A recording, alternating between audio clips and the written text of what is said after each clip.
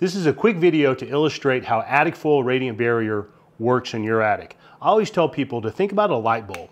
If you turn on a light bulb, it's emitting both light and heat in all directions. Now, if you take a light bulb and you put a reflector in front of it, it doesn't change the amount of light or heat the bulb is, is emitting. It just directs it in one direction. And this is exactly the same concept of how radiant barrier works in your attic. So in an attic application, your roof is just like the light. It gets hot and it wants to emit heat both upward and downward, back to the sky and into the attic. Now normally that radiant heat goes straight from the roof into the insulation and this causes your home to heat up. But when you install the AtticFoil radiant barrier, it acts as a reflector. Now, almost all that heat, 97% of that radiant heat is being reflected back.